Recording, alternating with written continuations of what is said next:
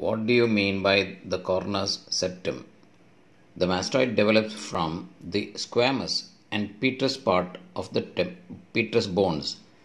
The petrosquamosal suture may persist as a bony plate, and this bony plate that divides the mastoid antrum is called the Korner's septum. It separates the squamosal cells from the deep petrosal cells.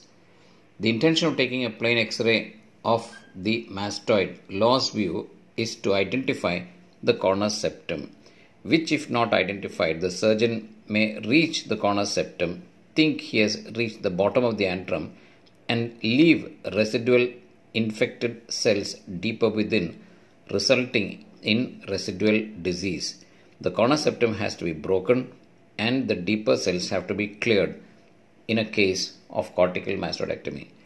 Again, the Korner's septum is the suture, the petrosquamosal suture, which persists as a bony plate, thereby separating the squamosal cells from the deep petrosal cells.